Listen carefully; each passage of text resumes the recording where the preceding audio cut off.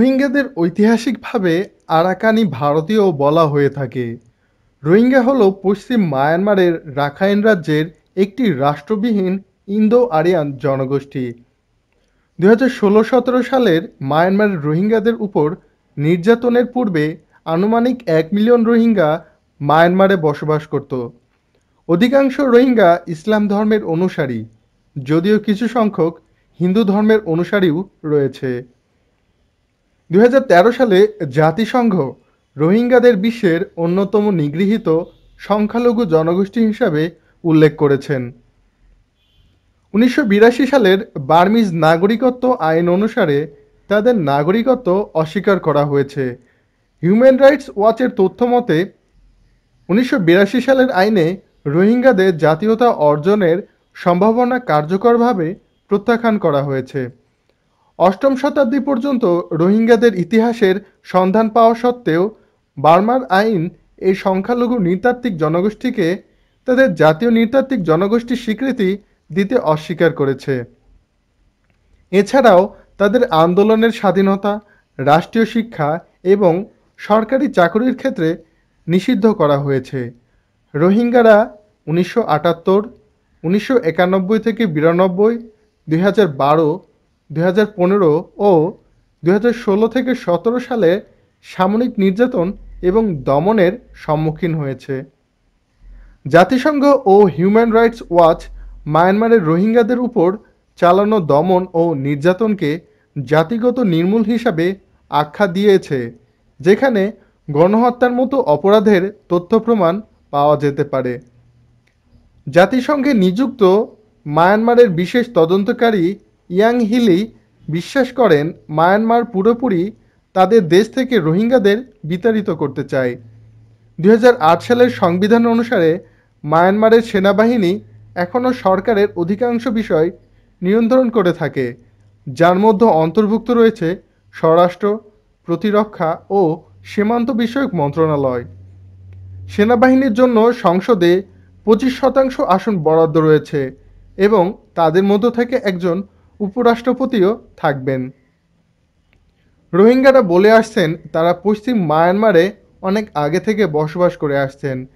তাদের বংশধররা প্রাক উপনিবেশিক ও উপনিবেশিক আমল থেকে আরাকানের বাসিন্দা ছিল। বিশ শতাব্দীর শেষের দিকে নির্যাতন শুরু হওয়ার পূর্ব পর্যন্ত রোহিঙ্গারা আইন প্রণেতা ও সংসদ সদস্য হিসাবে মায়ানমারের সংসদে প্রতিনিধিত্ব করেছেন।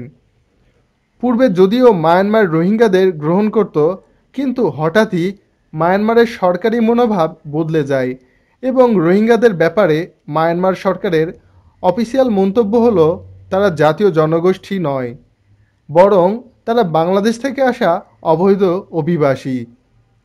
মায়ানমারের সরকার তখন থেকে রোহিঙ্গা শব্দটি ব্যবহার বন্ধ করে তাদের বাঙালি বলে সম্বোধন করে।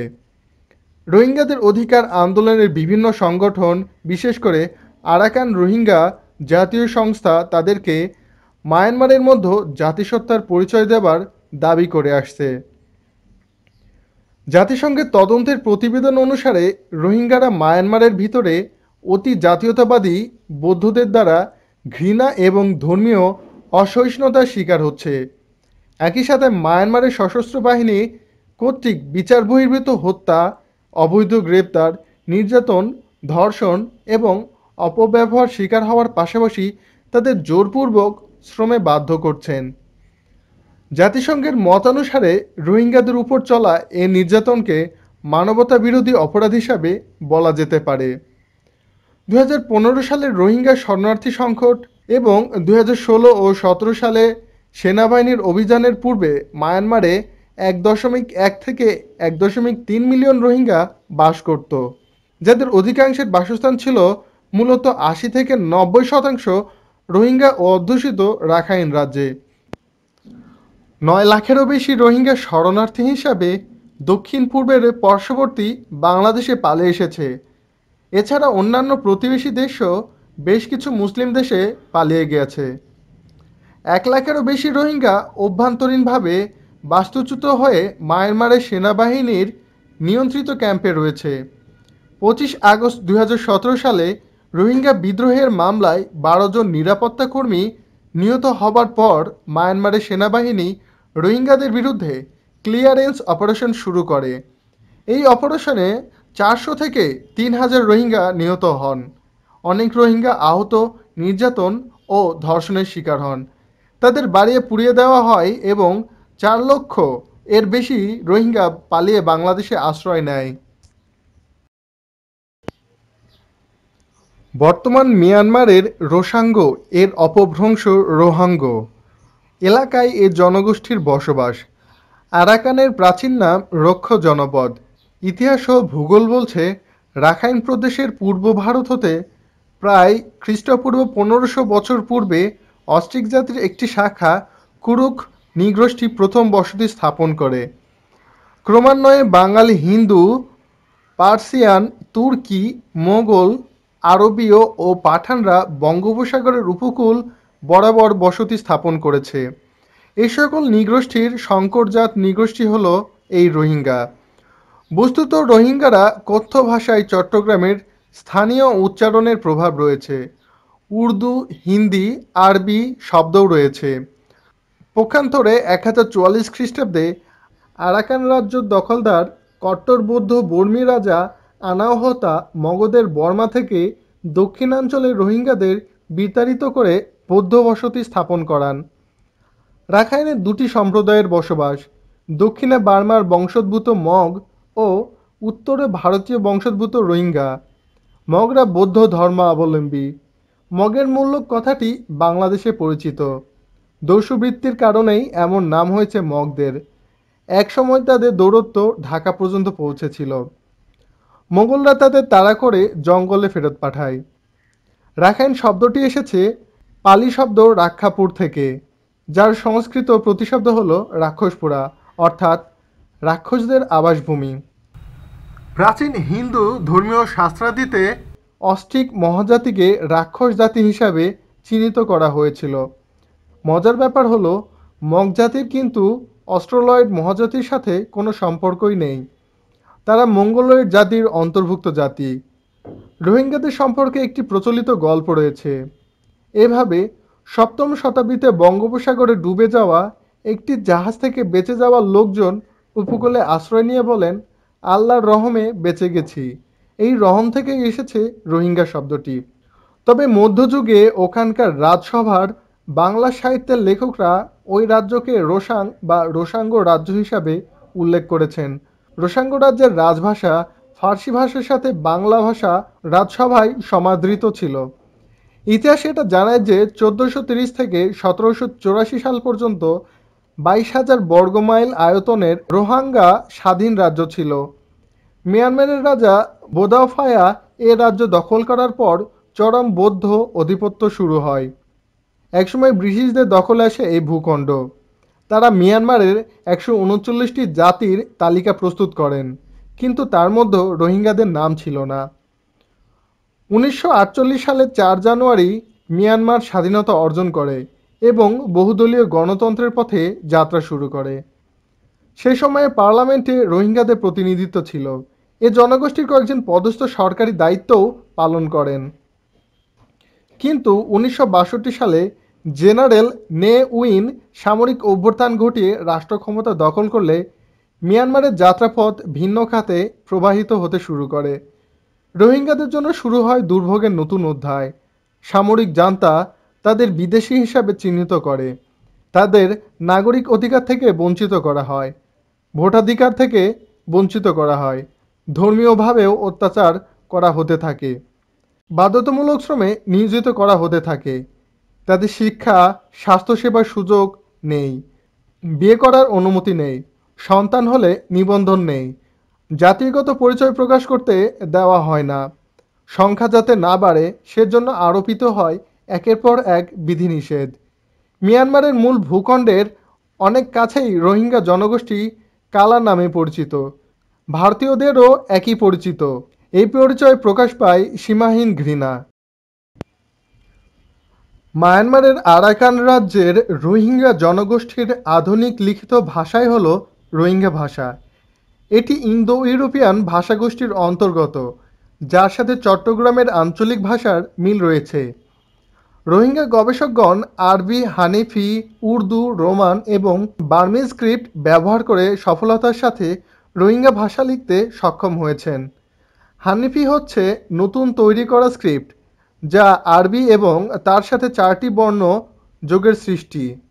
সাম্প্রতি এক ল্যাটিন স্ক্রিপ্টের উদ্ভাবন হয়েছে, যা ছাব্বিশটি ইংরেজি বর্ণ এবং অতিরিক্ত দুইটি ল্যাটিন বর্ণ, তারণজাত আর এর জন্য এবং নাসিক ধ্বনির জন্য। রোহিঙ্গা ধ্বনি সঠিকভাবে বোঝার জন্য পাঁচটি স্বরধ্বনি ব্যবহার করা হয়েছে। এটি আইএসও দ্বারা স্বীকৃত। অষ্টম শতাব্দীতে আরবদের আগমনের মধ্য দিয়ে আরাকানে মুসলমানদের বসবাস শুরু হয়। আরব বংশোদ্ভূত এই জনগোষ্ঠীর মায়ু সীমান্তবর্তী অঞ্চলের চেয়ে মধ্য আরাকানের নিকটবর্তী মক ইউ এবং কায়ুকতাও শহরতলিতেই বসবাস করতে পছন্দ করত। এই অঞ্চলের বসবাসরত মুসলিম জনপদই পরবর্তীকালে রোহিঙ্গা নামে পরিচিতি লাভ করে।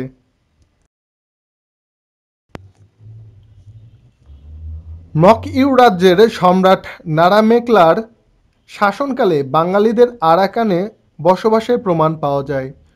চব্বিশ বছর বাংলায় নির্বাসিত থাকার পরে সম্রাট বাংলার সুলতানের সামরিক সহায়তায় পুনরায় আরাকানের সিংহাসনে আরোহণ করতে সক্ষম হন। যেসব বাঙালি সম্রাটের সাথে এসেছিল, তারা আরাকানে বসবাস করতে শুরু করে। সম্রাট নারামেকলা বাংলার সুলতানের দেওয়া কিছু অঞ্চল ও আরাকানের উপর সার্বভৌমত্ব অর্জন করে। সম্রাট নারামেকলা পরবর্তীতে ইসলাম ধর্ম গ্রহণ করেন এবং বাংলার প্রতি কৃতজ্ঞতা স্বরূপ আরাকানে বাংলার ইসলামী স্বর্ণমুদ্রা চালু করেন। পরবর্তীতে নারামেকলা নতুন মুদ্রা চালু করেন, যার এক পাশে ছিল বার্মিজ বর্ণ এবং অপর পাশে ছিল ফার্সি বর্ণ। বাংলার প্রতি আরাকানের কৃতজ্ঞতা ছিল খুবই অল্প সময়ের জন্য। চোদ্দোশো সালে সুলতান জালালউদ্দিন মুহাম্মদ শাহের মৃত্যু হলে সম্রাট নারামেকলার উত্তরাধিকারীরা চোদ্দোশো সালে রামু এবং চোদ্দোশো সালে চট্টগ্রাম দখল করে নেয়। ষোলোশো সাল পর্যন্ত চট্টগ্রাম আরাকানের দখলে ছিল। বাংলার সুলতানদের কাছ থেকে স্বাধীনতা অর্জনের পরেও আরাকানের রাজাগণ মুসলিম রীতিনীতি বজায় রেখে চলে। বৌদ্ধ রাজাগণ নিজেদেরকে বাংলার সুলতানদের সাথে তুলনা করত এবং মুঘলদের মতোই জীবনযাপন করত। তারা মুসলিমদেরকেও রাজদরবারের গুরুত্বপূর্ণ পদে নিয়োগ দিত। সতেরোশো শতকের দিকে আরাকানে বাঙালি মুসলিমদের সংখ্যা বৃদ্ধি পেতে থাকে। তারা আরাকানের বিভিন্ন কর্মক্ষেত্রে কাজ করত। যেহেতু রাজাগণ বৌদ্ধ হওয়ার পরেও বাংলার সুলতানদের রীতিনীতি অনুযায়ী রাজ্য পরিচালনা করত তাই আরাকানের রাজদরবারে বাংলা, ফার্সি এবং আরবি ভাষার হস্তলিপিকারদের মধ্যে অনেকেই ছিলেন বাঙালি। কামে ইন বা কামার নৃতাত্ত্বিক গোষ্ঠী যারা মায়ানমার সরকারের নৃতাত্ত্বিক জাতিসত্ত্বের মর্যাদা পেয়েছে, তারা আরাকান মুসলিম জনগোষ্ঠীরই একটা অংশ ছিল। সতেরোশো পঁচাশি সালে বার্মিজরা আরাকান দখল করে। এরপরে সতেরোশো নিরানব্বই সালে পঁয়ত্রিশ হাজারেরও বেশি মানুষ বার্মিজদের গ্রেপ্তার এড়াতে এবং আশ্রয়ের নিমিত্তে আরাকান থেকে নিকটবর্তী চট্টগ্রাম অঞ্চলে চলে আসে। বার্মার শোষকেরা আরাকানের হাজার হাজার মানুষকে হত্যা করে এবং একটা বড় অংশকে আরাকান থেকে বিতাড়িত করে মধ্য বার্মায় পাঠায়। যখন ব্রিটিশরা আরাকান দখল করে, তখন যেন এটি ছিল একটি মৃত্যুপুরী। সতেরোশো নিরানব্বই সালে প্রকাশিত বার্মা সাম্রাজ্যেতে ব্রিটিশ ফ্রান্সিস বুচানন হ্যামিল্টন উল্লেখ করেন মোহাম্মদুর রসুলুল্লাহ সাল্লাহ সাল্লাম এর অনুসারীরা, যারা অনেক দিন ধরে আরাকানে বসবাস করছে, তাদের রোহিঙ্গা জাতি কখনোই নিজেদেরকে আরাকানের স্থানীয় বাসিন্দা বা আরাকানের মূল নিবাসী উল্লেখ করে নাই। কৃষিকাজের জন্য আরাকানের কম জন অধ্যুষিত এবং উর্বর উপত্যকার আশেপাশের এলাকা থেকে বাঙালি অধিবাসীদের অভিবাসন করার নীতি গ্রহণ করেছিল ব্রিটিশরা। ইস্ট ইন্ডিয়া কোম্পানি বাংলাকে আরাকান পর্যন্ত বিস্তৃত করেছিল। আরাকান ও বাংলার মাঝে কোনো আন্তর্জাতিক সীমারেখা ছিল না এবং এক অঞ্চল থেকে আরেক অঞ্চলে যাওয়ার ব্যাপারে কোনো বিধিনিষেধও ছিল না। তাছাড়া ব্রিটিশরা আরাকান দখলের পূর্বকার সময় কালাদানি নদীর উত্তর তীর পর্যন্ত চট্টগ্রামের দক্ষিণ সীমানা ছিল, যা বার্মার সাথে যুক্ত ছিল বলে কোনো ঐতিহাসিক দলিলের অস্তিত্ব এখনও পর্যন্ত পরিলক্ষিত হয়নি।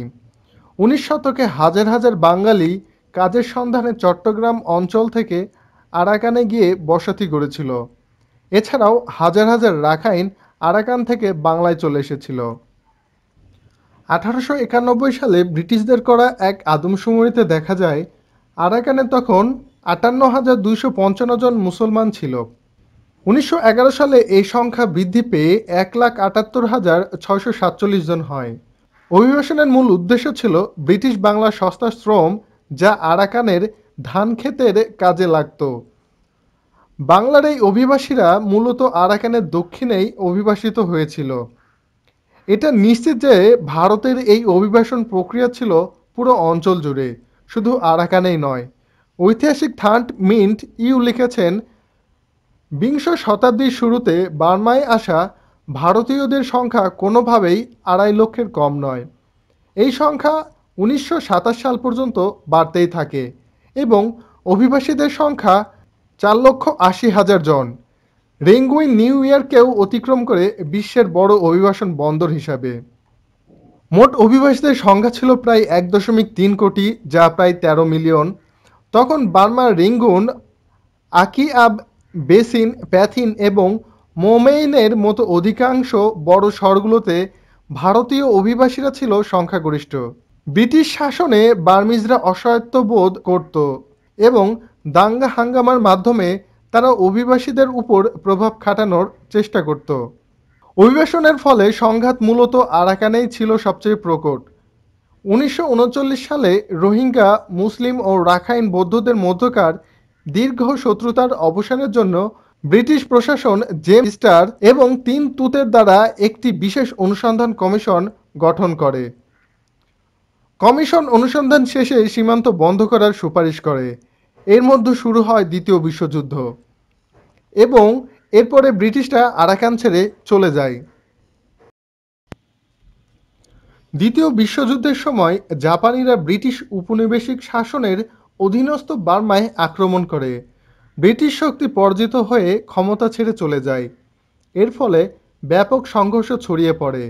এর মধ্যে বৌদ্ধ রাখাইন এবং মুসলিম রোহিঙ্গাদের মধ্যকার সাম্প্রদায়িক দাঙ্গা ছিল উল্লেখযোগ্য। এই সময়ে ব্রিটিশপন্থীদের সাথে বার্মার জাতীয়তাবাদীদেরও সংঘর্ষ হয়।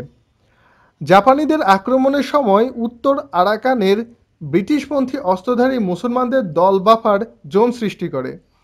রোহিঙ্গারা যুদ্ধের সময় মিত্রপক্ষকে সমর্থন করেছিল এবং জাপানি শক্তির বিরোধিতা করেছিল। পর্যবেক্ষণে সাহায্য করেছিল মিত্রশক্তিকে।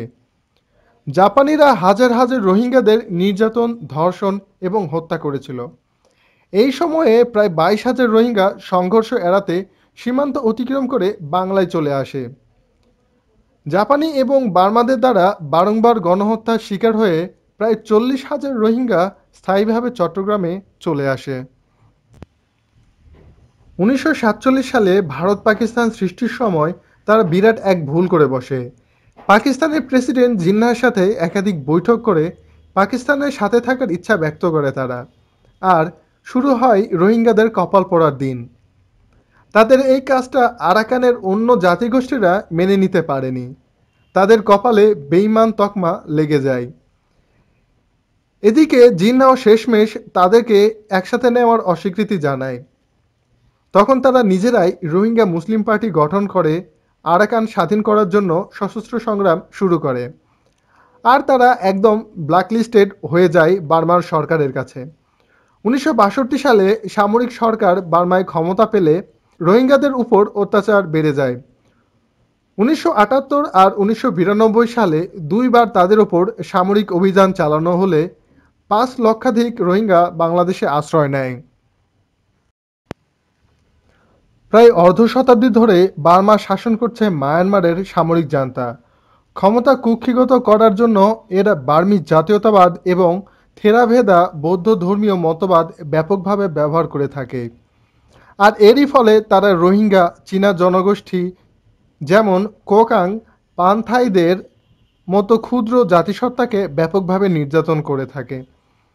কিছু নব্য গণতন্ত্রপন্থী নেতা যারা বার্মার প্রধান জনগোষ্ঠী থেকে এসেছে, তারাও রোহিঙ্গাদের বার্মার জনগণ হিসাবে স্বীকার করে না। বার্মা সরকার রোহিঙ্গা ও চীনা জনগোষ্ঠীর মতো ক্ষুদ্র জাতিসত্তাদের বিরুদ্ধে দাঙ্গার উস্কানি দিয়ে থাকে এবং এই কাজ তারা অতি সফলতার সাথেই করে চলেছে। রাখাইনে দুই হাজার বারো সালের দাঙ্গা হচ্ছে মায়ানমারের উত্তরাঞ্চলীয় রাখাইন রাজ্যের রোহিঙ্গা মুসলিম ও বৌদ্ধ রাখাইনদের মধ্যে চলমান সংঘর্ষের ঘটনা প্রবাহ। দাঙ্গা শুরু হয় জাতিগত কোন্দলকে কেন্দ্র করে এবং উভয় পক্ষই এতে জড়িয়ে পড়ে। রোহিঙ্গা জনগোষ্ঠী মূলত ইসলাম ধর্মের অনুসারী। যেহেতু বার্মা সরকার তাদের পড়াশোনার সুযোগ দেয় না, তাই অনেকেই মৌলিক ইসলামী শিক্ষাকেই একমাত্র পড়াশোনার বিষয় হিসাবে গ্রহণ করেছে। অধিকাংশ গ্রামেই মসজিদ এবং মাদ্রাসা রয়েছে। ঐতিহ্যগতভাবে পুরুষরা জামাতে এবং মহিলারা বাড়িতেই প্রার্থনা করে থাকে। রোহিঙ্গা জনগোষ্ঠীকে বলা হয় বিশ্বের সবচেয়ে কম প্রত্যাশিত জনপদ এবং বিশ্বের অন্যতম নিগৃহীত সংখ্যালঘু। উনিশশো বিরাশি সালের নাগরিকত্ব আইনের ফলে তারা নাগরিকত্ব থেকে বঞ্চিত হয়। তারা সরকারি অনুমতি ছাড়া ভ্রমণ করতে পারেন না, জমির মালিক হতে পারেন না এবং দুটির বেশি সন্তান না নেওয়ার অঙ্গীকারনামায় স্বাক্ষর করতে হয়। অ্যামনেস্টি ইন্টারন্যাশনালের অনুসারে উনিশশো আটাত্তর সাল থেকে মায়ানমারে মুসলিম রোহিঙ্গারা মানবাধিকার লঙ্ঘনের শিকার হচ্ছে এবং তারা প্রতিবেশী বাংলাদেশে পালিয়ে আসতে বাধ্য হচ্ছে। ফলে রোহিঙ্গাদের চলাচলের স্বাধীনতার উপর ব্যাপকভাবে নিয়ন্ত্রণ আরোপ করা হয় এবং তাদের অধিকাংশের বার্মায় নাগরিকত্ব বাতিল করা হয়েছে। তাদের ওপর বিভিন্ন রকম অন্যায় ও অবৈধ কর চাপিয়ে দেওয়া হয়েছে। তাদের জমি জবরদখল করা, জোরপূর্বক উচ্ছেদ করা, ঘরবাড়ি ধ্বংস করা এবং বিবাহের উপর অর্থনৈতিক অবরোধ চাপিয়ে দেওয়া হয়। উনিশশো আটাত্তর সালে মায়ানমারের সেনাবাহিনী নাগামান অভিযানের ফলে প্রায় দুই লক্ষ রোহিঙ্গা বাংলাদেশে পালিয়ে আসে। সরকারিভাবে এই অভিযান ছিল প্রত্যেক নাগরিকের নিরাপত্তা নিশ্চিত করা এবং যেসব বিদেশি অবৈধ মায়ানমারে বসবাস করছে তাদের বিরুদ্ধে ব্যবস্থা গ্রহণ করা। এই সামরিক অভিযান সরাসরি বেসামরিক রোহিঙ্গাদের বিরুদ্ধে চলছিল। এবং ফলে ব্যাপক হত্যার ঘটনা ঘটে। উনিশশো একানব্বই থেকে উনিশশো বিরানব্বই সালে একটি নতুন দাঙ্গায় প্রায় আড়াই লক্ষ রোহিঙ্গা বাংলাদেশে চলে আসে। দুই হাজার পাঁচ সালে জাতিসংঘ শরণার্থী বিষয়ক হাই কমিশনার রোহিঙ্গাদের বাংলাদেশ থেকে ফিরিয়ে নেওয়ার ব্যাপারে উদ্যোগ গ্রহণ করে। কিন্তু রোহিঙ্গা শরণার্থী শিবিরে বিভিন্ন ধরনের মানবাধিকার লঙ্ঘনের অভিযোগে এই উদ্যোগ ভেস্তে যায়। বিশেষত দুই হাজার পনেরো থেকে বর্তমান সময়ে রোহিঙ্গাদের শরণার্থী হওয়ার বিষয়টি পুরো বিশ্বে তোলপাড় করছে। তিন লক্ষ থেকে ধীরে ধীরে ক্রমবর্ধমান হারে রোহিঙ্গা বাংলাদেশে শরণার্থী হিসাবে প্রবেশ করছে। তাদের জন্য বাংলাদেশের বিভিন্ন জেলা হতে ত্রাণ পৌঁছানোর চেষ্টা করা হচ্ছে। বৈদেশিক ত্রাণও পৌঁছে যাচ্ছে তাদের কাছে। এটি বাংলাদেশের জন্য অনেক বড় একটা challenge.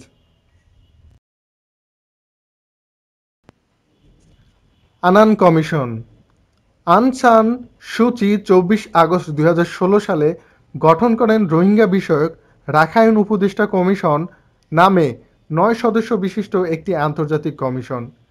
বায়োমেট্রিক পদ্ধতিতে নিবন্ধিত প্রথম রোহিঙ্গা নারী রুবিয়া খাতুন। রোহিঙ্গা হল মিয়ানমারের রাখাইন রাজ্যের একটি জাতিগোষ্ঠী। বাংলাদেশে প্রথম রোহিঙ্গা প্রবেশ করে উনিশশো আটাত্তর সালে। বর্তমান বিশ্বের সবচেয়ে নির্যাতিত জাতি হল রোহিঙ্গা সম্প্রদায়। মিয়ানমার রোহিঙ্গাদের জন্মগত অধিকার অস্বীকার করে উনিশশো বিরাশি সালের নাগরিকত্ব আইনে। মিয়ানমার স্বাধীনতা লাভ করে উনিশশো আটচল্লিশ সালে ব্রিটেনের কাছ থেকে। মিয়ানমারের জনক জেনারেল আং সান। আরাকান রাজ্যের নাম পরিবর্তন করে রাখাইন রাখা হয় উনিশশো উননব্বই সালে। মিয়ানমারের বর্তমান প্রেসিডেন্ট থিন কিয়াও। মিয়ানমারের রাজধানী নাইপিদো ও মুদ্রা কিয়াট। মিয়ানমারের আইনসভার নাম অ্যাসেম্বলি অব দ্য ইউনিয়ন। স্থানীয় নাম পাই ইয়াঙ্গসু হুলুঅয় এটি দ্বিকক্ষ বিশিষ্ট। মিয়ানমারের প্রাচীন নাম ব্রাহ্মদেশ সোনালী প্যাগোডা দেশ মিয়ানমার। মিয়ানমারের সীমান্তরক্ষী বাহিনীর নাম বিজিপি, অর্থাৎ বর্ডার গার্ড পুলিশ আং সান সুচির পিতার নাম জেনারেল আং সান উনিশশো সাল থেকে দুই হাজার দশ সাল পর্যন্ত এই ২০ বছরের মধ্যে সুচি পনেরো বছর রাজবন্দী ছিলেন। আং সান সুচি নোবেলের শান্তি পুরস্কার লাভ করেন উনিশশো একানব্বই সালে। আং সান সুচির রাজনৈতিক দল এনএলডি অর্থাৎ ন্যাশনাল লিগ ফর ডেমোক্রেসি আং সূচির পদমর্যাদা, রাষ্ট্রীয় উপদেষ্টা, প্রধানমন্ত্রী বা সরকার প্রধান বা রাষ্ট্রপ্রধান সমমর্যাদার। আং সূচি রাষ্ট্রপতি হতে পারেননি। তার প্রয়াত স্বামী এবং দুই পুত্র বিদেশি নাগরিক হওয়ার কারণে। এশিয়ার ম্যান্ডেলা নামে পরিচিত আং সূচি। সুচি সূচির প্রথম গৃহবন্দী হন উনিশশো উননব্বই সালে। কুখ্যাত ইনসেন কারাগার মিয়ানমারে। মংডু, বাংলাদেশ ও মিয়ানমার দুই দেশের সীমান্ত এলাকা। মিয়ানমার থেকে বাংলাদেশে আগত নদী সংখ্যা তিনটি, নাফ, সাঙ্গু ও মাতামুহুরি। বাংলাদেশ ও মিয়ানমারকে বিভক্তকারী নদী হল নাফ নদী। নাফ নদীর দৈর্ঘ্য ছাপান্ন কিলোমিটার। গডস আর্মি, মিয়ানমারের গেরিলা গোষ্ঠী। দুই হাজার সালে বাংলাদেশ ও মিয়ানমারের মধ্যে সংগঠিত যুদ্ধের নাম নাফ যুদ্ধ।